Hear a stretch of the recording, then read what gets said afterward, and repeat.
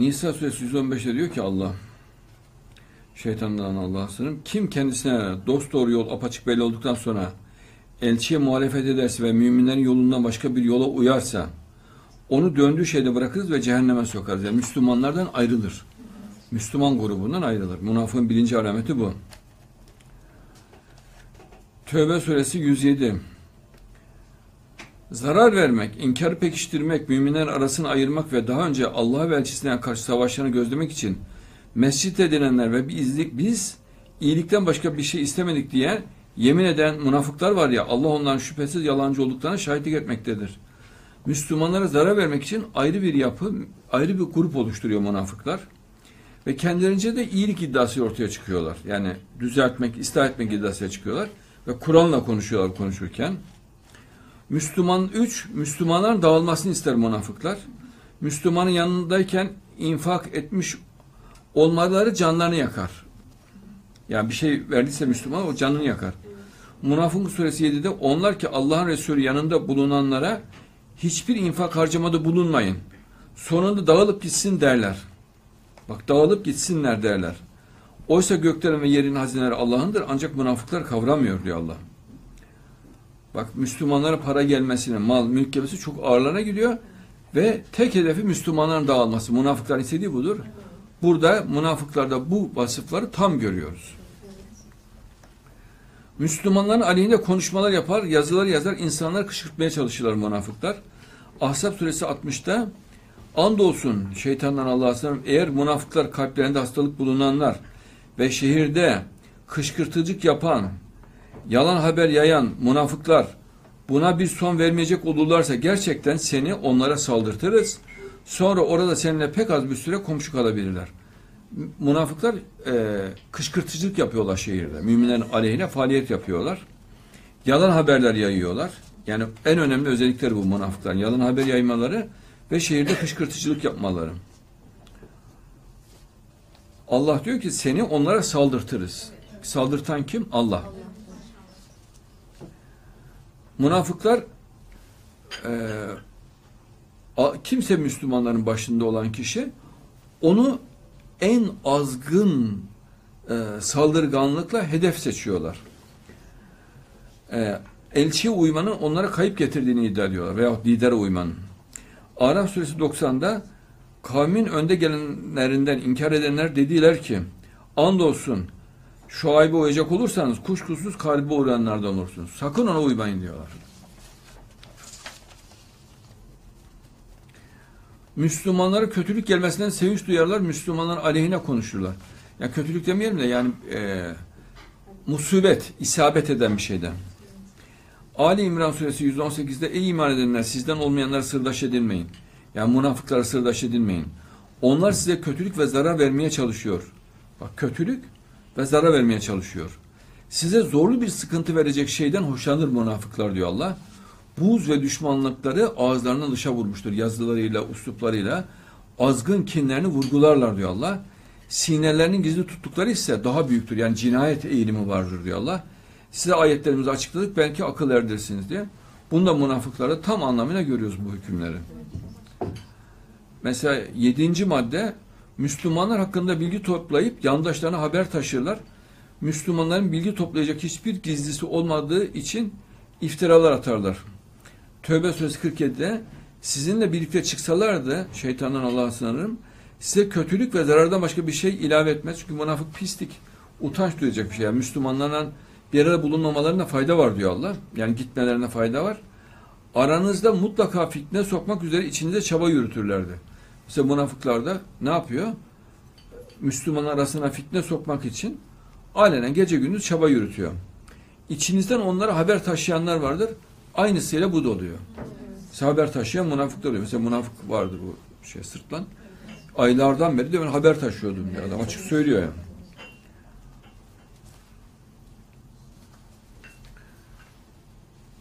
Maide suresi 41. Onlar yalana kulak tutanlar, sana gelmeyen diğer topluluk adına kulak tutan, haber toplayanlardı bak. Sana gelmeyen diğer topluluk adına kulak tutan yani haber topluyor ve haber taşıyor. Münafığın özelliği budur. Muhbirdir ve casustur münafık.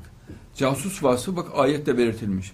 Mesela İngilizlerin devletine haber taşır, münafıklara haber taşır. Onlar kelimeleri yerlerine konulduktan sonra saptırırlar. Yani bambaşka şekilde Kur'an'ı yorumlarlar.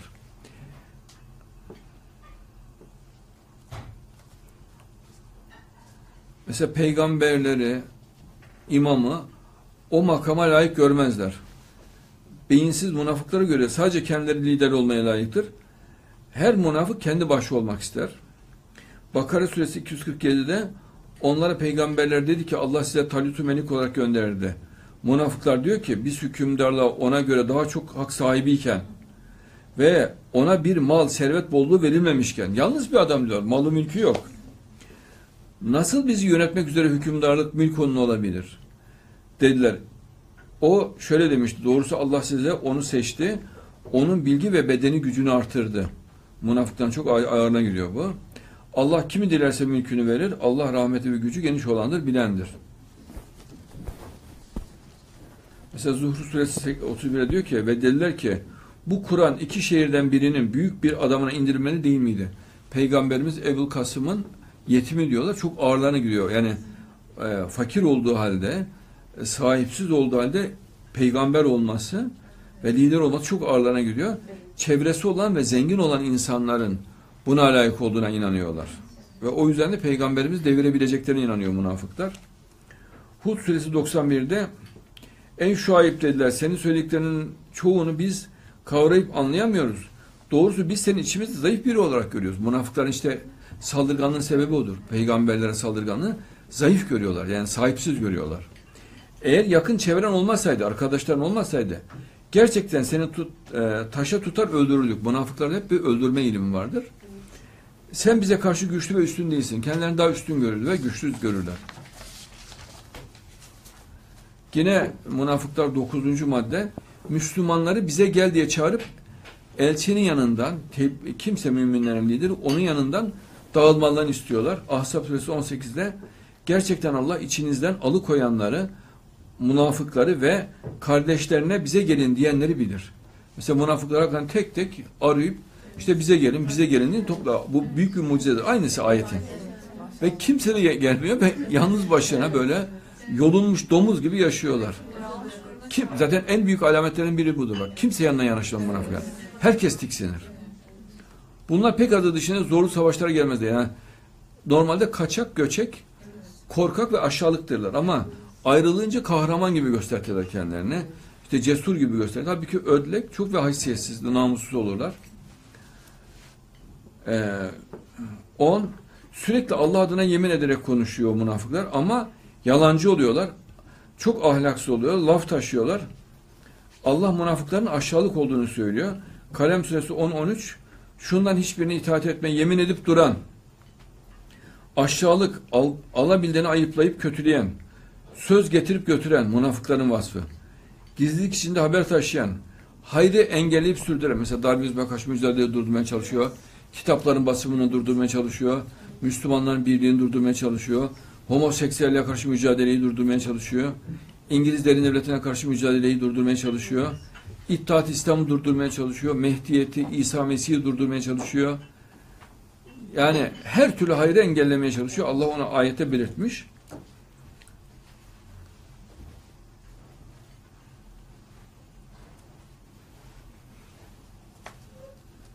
Bak hayrı engelleyip sürdüren, hayrı engellemek münafığın özelliğidir bu. Ve saldırgan, münafıklar hep saldırgandır. Kafa göz yarar, cinayet işler, ahlaksızlık yapar. Alda, alabildiğine günahkar işte. Hırsızlık, dolandırıcılık, üçkağıtçılık, zorba. Zorba, münafıklar zorbadır. Yani insanlara saldırır böyle zorla e, bir e, konu olduğunda onu şiddet ve dehşetle halletmeye kalkarlar. İşte adam bıçaklayarak, efendim, tehdit ederek ve saygısız diyor bak Allah ayette. Saygı bilmez münafık. Birbirine karşı da çok saygısız ve züppe olurlar. Sonra da kulağı kesik yani kaşar. Yani psikopat yani olayların içinde kaşarlaşmış. Kulağı kesin anlamı kaşar anlamına geliyor. Ee, Müslümanlara amansız bir kin duyuyorlar. Nefretleri gözlerinden akar münafıkların. Sürekli kin duyuyorlar. Böyle e, yüzündeki o nefret elektriği, e, nefret ifadesi açıkça görülür. e, kinleri yazılarında ağızlarından taşar, konuşmalarında ağızlarından taşar. Yıllarca kinlerin içlerinde biriktirirler. Münafık böyle bir e, kin torbası gibidir yani. E, o kinle gittikçe gerilir, şişer şişer. Bir gün o kini patlar. Yani iğrenç böyle lağım gibi bir e, kin torbasıdır münafık. Ali İmran suresi 118'de ey iman edenler sizden olmayanları sırdaş edilmeyin bak. Ey iman edenler sizden olmayanlar sırdaş edilmeyin. Çünkü münafık bilgiyi toplamak ister ki ileride Müslümanlar aleyhine kullansın. Onun için her şeye kulak kabartır münafık. Ee, Müslüman aleyhine kullanacak her türlü bilgiyi önemli görür. Onlar size kötülük ve zarar vermeye çalışıyor. Yani Müslüman hep aleyhine olan bilgiye esas verir münafık. Yani önemli görür. Lehine olan bilgiyi önemli görmez münafık. Hep aleyhte bilgi toplamaya çalışır. Size zorlu bir sıkıntı verecek şeylerden hoşlanırlar. Mesela pislik yaparak, bakışıyla, uslubuyla, konuşmasıyla, tersliğiyle, enaniyetiyle, kibiriyle, saldırganıyla, saldırganlığıyla, yalanlarıyla, zübbeliyle, e, cinayete eğilimliyle Müslümanlara zarar vermeye çalışırlar. Bak size zorlu bir sıkıntı verecek şeylerden hoşlanırlar. İşte pislik yaparak, küfürle işbirliği yaparak, buğz ve düşmanlıkları ağızlarından dışa vurmuştur.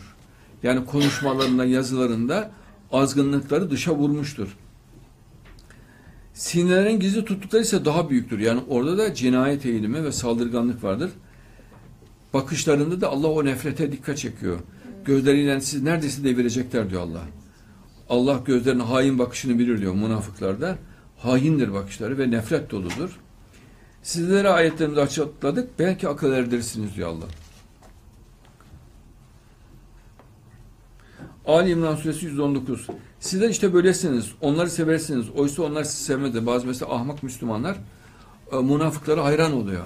Yaptığı ahlaksızlığa, kahpeliğe, Müslüman ailene konuşmalara onları titizlikle takip ediyor. Onlara inanma eğiliminde oluyor. Mesela onların Müslümanlara saldırısından haz duyuyor münafık kafalı olduğu için. E, ve münafıkların daha atak yapmasını istiyor. Daha pis şeyler yapmasını istiyor. Onu heyecanla takip ediyor. Onları seversiniz. Oysa onlar size abi ki o nefret ediyor o ondan. Size, siz kitabın tümüne inanırsınız. Münafıklar sizinle karşılaştıklarında inandık derler.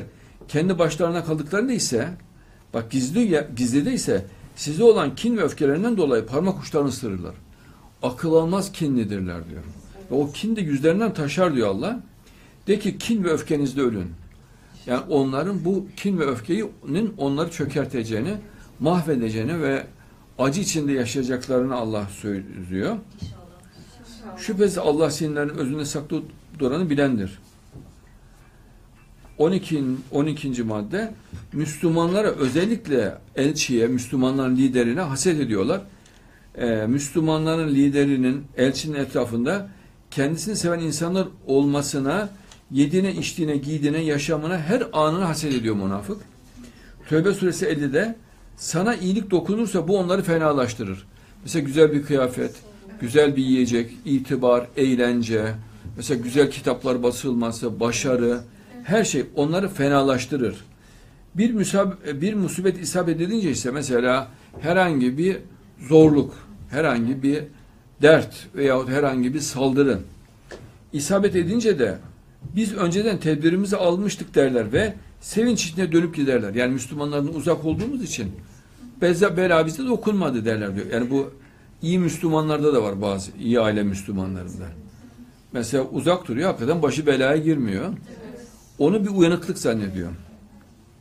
Bak biz önceden tedbirimizi almıştık yani Müslümanlardan uzak olmuştuk diyor. Ve sevinç içine dönüp giderler. Halbuki cehenneme doğru gidiyorlar.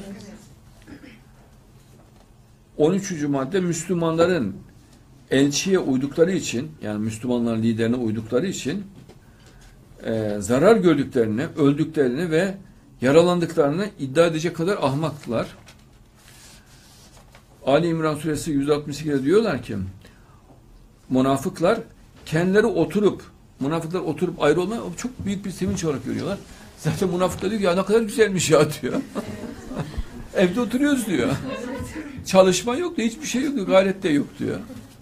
Kitap dağıtmıyoruz, tebliğ yapmıyoruz. Bayağı rahatmış diyor. Geziyoruz diyor. Kendileri oturup kardeşleri için eğer bize itaat etselerdi öldürülmezler diyenlerdir. Yani bize itaat etselerdi kimse saldırmazdı. Bir şey de olmazdı. Yani Müslümanların kendini korumalarını akılsızlık olarak görüyorum. Yani Müslümanların pasif, içine kapanı, yani gelene gidene ağam paşam diyen, ondan sonra saldırgan birisi oldu mu, tehlikeli biri oldu mu da pısıp geri çekilen birisi olmalısını istiyorlar. Müslümanların kendisini koruması durumunda meydana gelecek şehadet veya yaralanmayı akılsızlık olarak görüyorlar. Eğer bize itaat etselerdi öldürülmezlerdi diyenlerdir. De ki eğer doğru sözler iseniz ölümü kendinizden savun öyleyse. Allah kısa süre sonra ben sizi cehenneme koyacağım diyor. Ee, Müslümanları bırakıp küfrü dost ve güçlü görürler. Nisa suresi 139'da. Münafıklar müminleri bırakıp kafirleri dostlar, veliler edinirler. Hakikaten münafıklar bakıyoruz küfürle iç içeler. Bayağı mutlular. Kuvvet ve onuru, izzeti onların yanında mı arıyorlar? Mesela münafık ailelere falan sığınıyor. Ailedeyken koca karılar böyle şey kart aa, iguanalar yani. Şüphesiz bütün kuvvet ve onur Allah'ındır.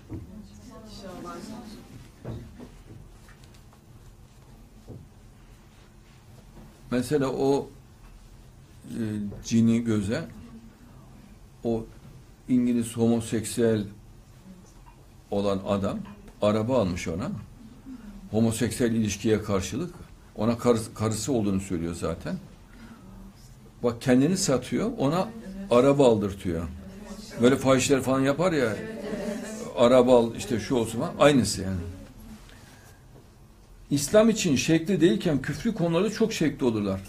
Maide suresi 62 onlardan çoğunun günahta, düşmanlıkta, Müslümanlara düşmanlıkta, haram yiyiciliklerine, hırsızlık, dolandırıcılıkta çabalarına hız kattıklarını görürsün. Yapmamakta oldukları ne kötüdür diyor. Mesela normalde Müslümanların yanındayken hiçbir gayretleri yok. Ama günaha ve düşmanlığa acayip düş, e, düşkün olurlar Müslümanların yanından ayrıldıktan sonra. Ve haram yiyiciliğe ve azgın aleyhte çabalarına hız katıyorlar. Elçinin ve Müslümanların liderlerinin, Müslümanların da kendileri gibi sapkın olmasını istiyorlar. Elçinin tebliğ ettiği dini değil, kendi mantıklarına uygun olan dini istiyorlar. Yani peygamberin anlattığı dini değil. Nisa suresi 113'te eğer Allah'ın fazlı ve rahmeti senin üzerine olmasaydı onlardan bir grup seni saptırmak için tasarruf kurmuştu. Peygamberin dinini değiştirmeye çalışıyor münafık. Kendi kafasına göre. Mesela Müslümanlar toplu olmasını istiyor Allah. Ona gerek yok ya tek başına yaşamak gerekiyor diyor. Hazreti İbrahim tek değil miydi diyor. Ya kardeşim Hazreti İbrahim tekti de ilk vahiy geldiği için tekti. E, karısına dini anlatımında iki. Ya, e, yanında çalışanlar anlatımı üç. Diğer Müslümanlar anlatıyor. On iki. E sonra ne oluyor? 120 bin. E sonra milyarlar oluyor. Nasıl tek oluyor yani? Nisa suresi 89. Münafıklar kendilerinin inkara sapmaları gibi sizin de inkara sapmanızı isterler. Yani onlar gibi böyle ahlaksız olmaları, dağılmayı, e, işte kitap çalışmaları yapmayacaksın, Darwinizme karşı mücadele yapmayacaksın, homoseksüellerle mücadele yapmayacaksın, İngilizlerin devletine karşı çalışma olmayacak, Deccaliyete karşı mücadele yapmayacaksın, İttihat İslam'ı savunmayacaksın, Mehdiyeti anlatmayacaksın, İsa Mesih'in gelişini anlatmayacaksın, iman hakikatlerini, Kur'an mucizelerini anlatmayacaksın, pasif olacak Müslümanlar dağılıp gidecekler. Bunu istiyorlar. Kendilerinin inkarı sapmaları gibi sizin de inkarı sapmanızı istediler. Böylelikle bir olacaktınız. Çünkü münafık tek kalıyor ya, yalnız. Onun Allah'tan bela olduğunu kabul etmemek için Müslümanlar dağılması istiyor ki onlar da tek tek olsunlar. Halbuki bak sizi böyle Allah domuz damgalar gibi damgaladı. Tek olacaksınız. Ve domuz gibi tek başına çöllerde yaşayan domuz gibi tek başına yaşayacaksınız. Ve herkes sizden tiksinecek ve ömür boyu tiksinti içinde Müslümanlar sizden uzak duracak. Ve tek başına domuz gibi öleceksiniz. Ve domuz gibi de cehenneme gideceksiniz. Bak diyor ki Allah, Allah münafıklardan ne bir veli edinin ne de bir yardımcı. Sakın diyor Allah. Evet.